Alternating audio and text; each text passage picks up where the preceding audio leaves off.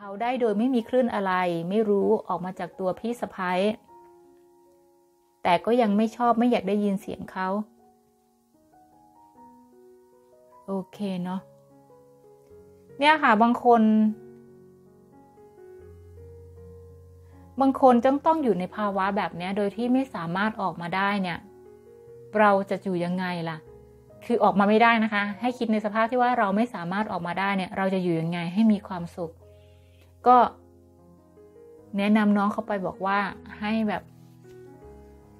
ดูเฉพาะตนน่ะ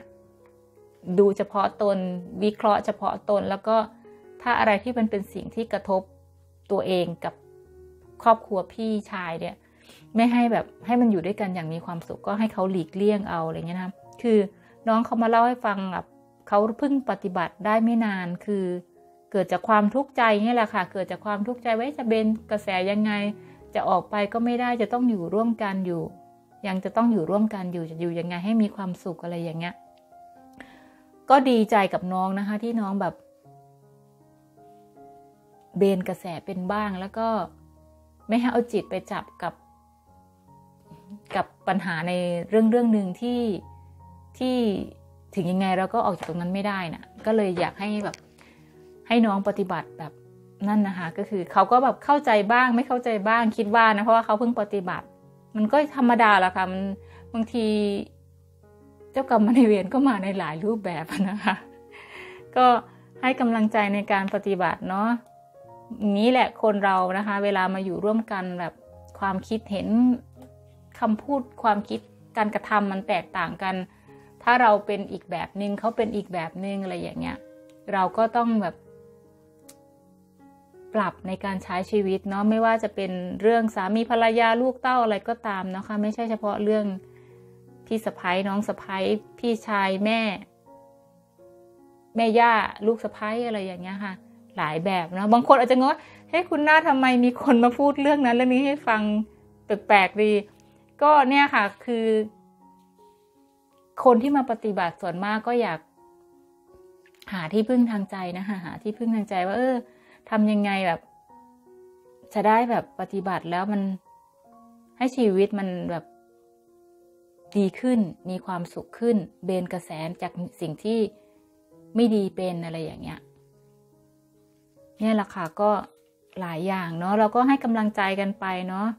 ค่อยๆ ปฏิบัติไปค่ะ ปฏิบัติธรรมเนี่ยช่วยได้ดีที่สุดเลย ถ้าสมมุติว่า เราไม่ได้ปฏิบัติธรรมเนี่ยแม้แต่ตัวผู้พูดเองเนี่ยก็จะรู้สึกว่ามันต้องใช้ชีวิตอย่างแบบ อย่างแบบ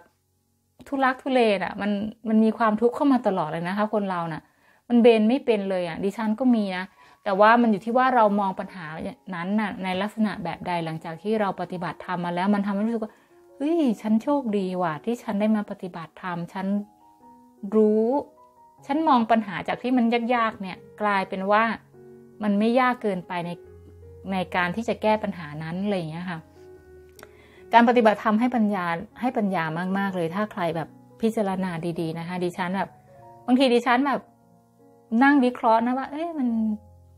ถ้าเราไม่ได้ปฏิบัติธรรมเราจะคิดได้ไหมว่าเราจะเบนเป็นไหมว่ากระแสเนี่ย เราคงเบนไม่เป็นแน่เลย แล้วเราจะอยู่กับชีวิตที่แบบ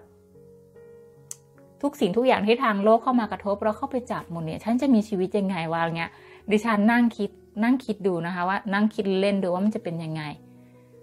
ได้คำตอบมาว่าอุ้ยถ้าฉันแบบไม่ได้ปฏิบัติเนี่ย ฉันคงจะจิตฉันคงจะไหลไปตามกระแสโลกเหมือนแต่ก่อนแน่เลย มีอะไรเข้ามากระทบ ฉันก็พร้อมที่จะรับมันหมดเลย แล้วพร้อมที่จะเอาจิตไปจับมันหมดเลย ประมาณนี้ค่ะ ให้กำลังใจเนาะคะ่ะ ใครที่ปฏิบัติใหม่ ๆ เนาะต้องเสีย ต้องมีความเพียรเนาะเสียดายมากเลยมีหลายคนที่เข้ามาฟังเราแล้วแล้วก็หยุดปฏิบัติไปอะไรเงี้ยนะคะ หยุดปฏิบัติไป ดิฉันไม่รู้ว่าดิฉันคุยเรื่องของพี่คนนี้หรือยังโอเค เดี๋ยวฟังฟังอีกรอบหนึ่งเนาะน่าจะเป็นเรื่องสุดท้ายของวันนี้นะคะ เขาบอกว่า เออเขาบอกว่าอนุโมทนาสาธุบุญครับ ผมยังถือ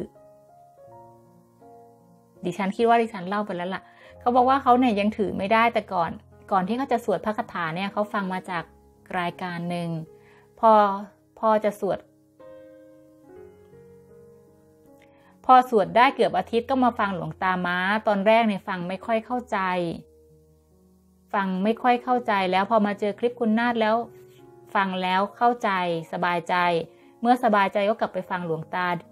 ก็ฟังได้ดีขึ้น ผมเริ่มสวดเวลาขับรถไปทำงาน กับตอนกลับบ้าน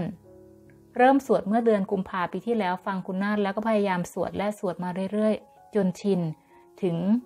ถึงไม่มากก็สวดไปเรื่อยๆ อนุโมทนาสาธุบุญนะครับเขาบอกเนี้ยโอเค ก็อนุโมทนาสาธุบุญนะคะ พี่ก็เนี่ยค่ะ ใครที่ได้มาเจอกันแล้วสวด ราะแล้วได้มาสวดเนี่ยร่วมกันเนี่ย แล้วฟังกันรู้สึกว่า เอ้ยมันเพลินดีฮะ มันไม่ต้องเอาสำสาระมากนะคะ เอาแค่เพลิน เพลินแล้วก็เชื่อแล้วก็นำไปปฏิบัติเนี่ย ดิฉันเชื่อว่าเรามีความผูกพันกันเนาะถึงฟังกันได้ ปกติ เรื่องการสวดมนต์เรื่องการภาวนาปฏิบัติธรรมมันยากนะคะพูดถึงเนาะมันยากเพราะว่ามันเป็นเราจะฟังเราจะเชื่อว่ามันเป็นเรื่องที่น่าเบื่อนะแต่ถ้าเราฟังแล้วเราเออเพลินดีว่าเอาไปลองทำดูสิ ผู้หญิงคนนี้พูดน่าสนใจดีแฮะอย่างเงี้ยแล้วก็ปฏิบัติได้มาเรื่อยๆๆเนี่ยแสดงว่าเราต้องมีบุญสัมพันธ์กันนั่นนะคะดิฉันเชื่อแบบนั้นเนาะเมื่อทำไปเรื่อยๆๆจุดจ่อเนี่ย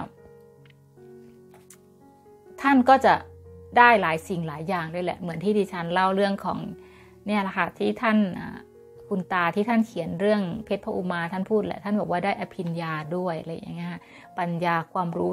ใครที่ไม่เคยอ่านเพชรพระอุมาอาจจะคิดไม่ออกและถ้าใครเคยอ่านแล้วจะรู้สึกว่าเฮ้ยทำไมท่านจินตนาการได้แบบลึกซึ้งขนาดนั้นหนังสือของท่านนะนะคะจินตนาการแบบเขียนได้ดีมากเขียนเหมือนท่านไปเจอเหตุการณ์มาจริง ๆ อะไรอย่างเงี้ยค่ะ ถ้าใครรุ่นเดียวรุ่นก่อนดิฉันหรือรุ่นใกล้ๆดิฉันน่าจะเคยได้อ่านอยู่เนาะนั่นแหละค่ะ หนังสือท่านดีมากเลย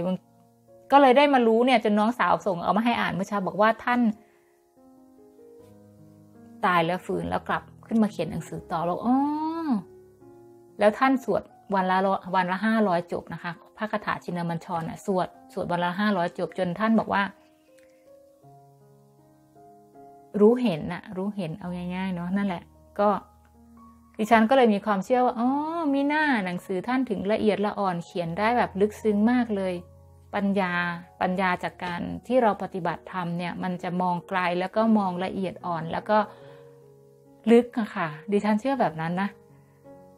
ถ้าใครแบบไม่รู้ไปหาอ่านดูนะคะ สนุกดี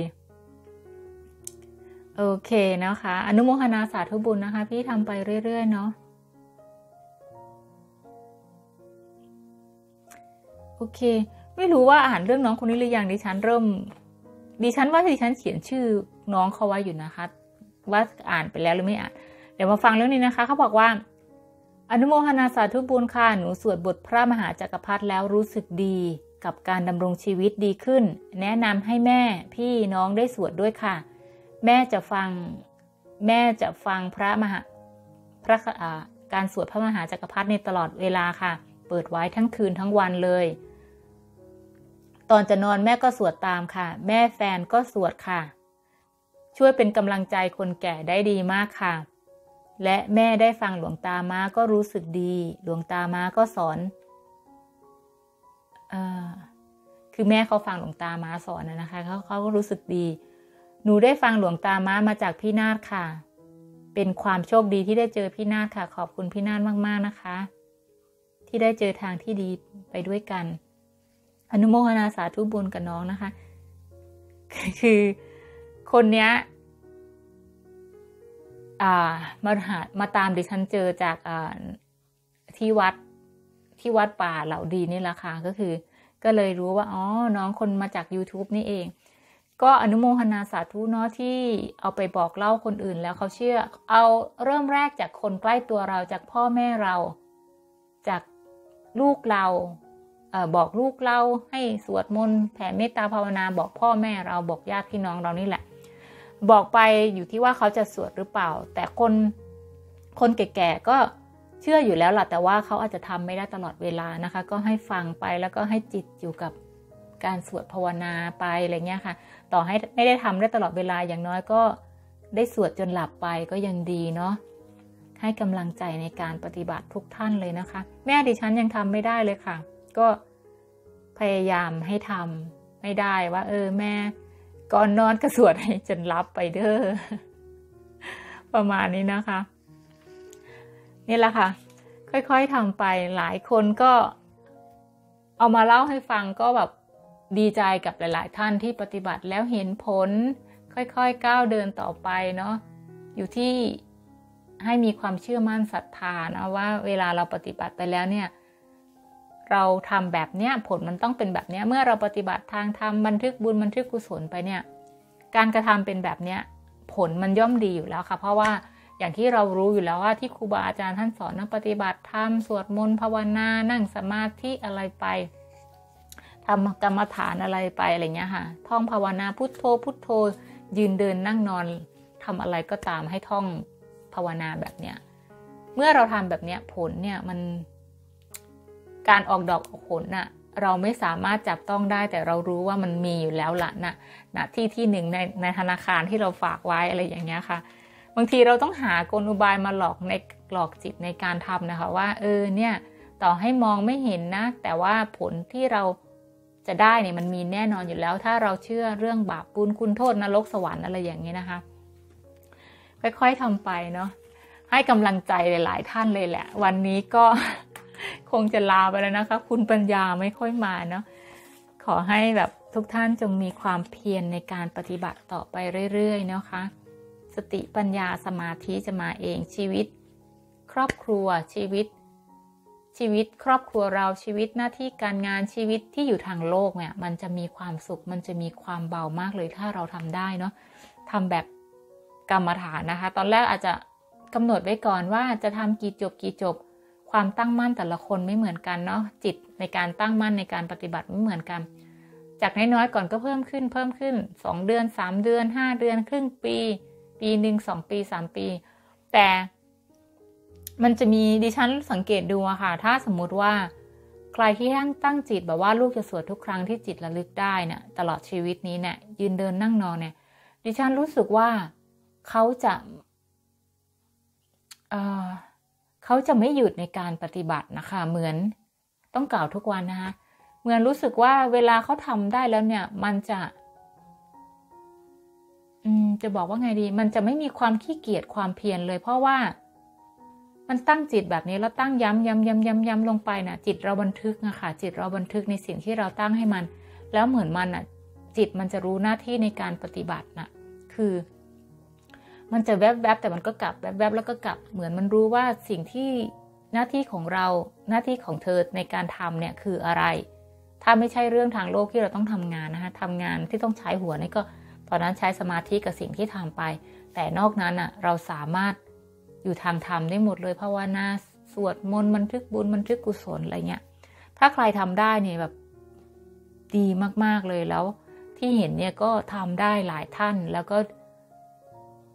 ไม่รู้จะบอกว่าไงดีเนาะดีใจด้วยมาก ๆเลยนะคะ ให้กำลังใจมากๆเลย ผู้ทำผู้ผู้พูดเองก็แบบไม่ได้เก่งนะคะ แต่ว่ารู้สึกว่าสิ่งที่จับต้องได้จากการปฏิบัติมาสามปีจะสี่ปี รู้สึกว่าเฮ้ยชีวิตมันมันมีความสุขจริงแฮะมันมีความสุขมากมัน ถามว่าติดติดสุขไหมติดสุขดีกว่าติดไม่สุขนะเพราะว่า กายวาจาใจสติปัญญาสมาธิ มันดีไปหมดเลยอะ่ะ มันรู้สึกว่ามันมันเอามาใช้ประโยชน์ ให้กำลังใจตัวเองได้ด้วย แล้วก็ให้กำลังใจคนอื่นได้ด้วย มันใช้ประโยชน์ได้ทั้งตัวเองและก็ผู้อื่น ความเพียรในการปฏิบัติมันมันไม่ลดหย่อนลงอะค่ะ มันไม่ย่อหย่อนลง มันมันมีความเพียรมากขึ้นมากขึ้นมากขึ้น หรือมีความเพียรตลอดไป มันไม่ มันไม่มีความรู้สึกว่า เฮ้ยขี้เกียจทำว่ะ ไม่อยากทำและอยากอยากหยุดเฉยๆอยาก อยากไม่อยากมีภาระในการที่จะต้องมาสวดภาวนา มันไม่เคยคิดแบบนั้นเลย เนี่ยค่ะ การทำแบบกรรมฐานมันจะมันจะดีมากเลยนะคะมันจะดีมากๆเลยถ้าใครทำได้เนาะแต่มันก็ไม่ยากอีกแหละ อยู่ที่ว่าตอนที่เราเริ่มทำนะเราตั้งจิตแบบใดแล้ว เมื่อเราตั้งจิตเนี่ย เราก็ค่อยเพียรทำไปทำไปทุกวันทุกวันทุกวัน เหมือนที่ดิฉันพูดละค่ะ ถ้าสมมุติว่าเราไปเกิดเป็นเทวดา รัศมีตัวของแต่ละท่าน รัศมีกายของแต่ละท่านก็แตกต่างกันไปแล้วเราอยากได้รัศมีนิดๆหน่อยๆแสงสว่างนิดๆหน่อยๆหรือว่าแสงสว่างแบบเยอะๆ อะไรอย่างเงี้ยค่ะ ไม่รู้สิดิฉันคิดแบบนั้นนะจินตนาการเล่นๆนะนะคะเพื่อให้มันมีแรงกำลังใจในการปฏิบัติมีความโลภนะว่าเฮ้ยฉันจะต้องเพียรเพียรเพียรเพียรแล้วถ้าฉันไปอยู่ในภูมิหนึ่งฉันก็จะ มีกายรัศมีสว่างสวัยสวยงามอะไรอย่างเงี้ยค่ะ มันเป็นอุบายหลอกจิตตัวเองของดิฉันน่ะนะคะ ประมาณนี้เนาะโอเคนะคะ ขอให้มีความเชื่อเชื่อมั่นและศรัทธานะว่าปฏิบัติไปแล้วเนี่ยดีแน่นอนดีกับกายกับจิต กายมันมันไม่อยู่ไม่กี่ปีมันก็ไปเลยนะคะ ยุคนี้มันน้อยเนาะร้อยปี ไม่ถึงว่าจะร้อยปีหรือเปล่าเจ็ดสิบแปดสิบอะไรอย่างเงี้ยค่ะ บางคน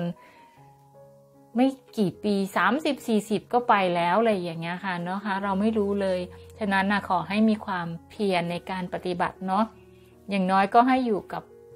พลังงานบุญกุศล พลังงานพุทธคุณธรรมคุณสังฆคุณนะบ่อยๆบ่อยๆ วันหนึ่งให้ระลึกได้บ่อย ๆ อะไรเงี้ยค่ะ โอเคค่ะวันนี้ วันนี้อาจจะไม่สนุกนะคะ คิดไม่ค่อยออกก็ลาไปแล้วนะคะ ลูกหลานหลวงปู่ดูหลวงปู่ทวด ขอให้ทุกท่านจง มีความศรัทธาเชื่อมั่น และก็ปฏิบัติร่วมกันไปเรื่อย ๆ ดิฉันให้กำลังใจเนาะบุญใดกุศลใดที่ดิฉันได้ทำมานะคะ ขออ่าแผ่ปิติเริ่มมา ขอแผ่ให้กับทุกท่านที่ดูเราอยู่เนาะแล้วก็ให้กำลังใจในการปฏิบัติต่อไปเรื่อย ๆ วันนี้ไปแล้วค่ะ สวัสดีค่ะ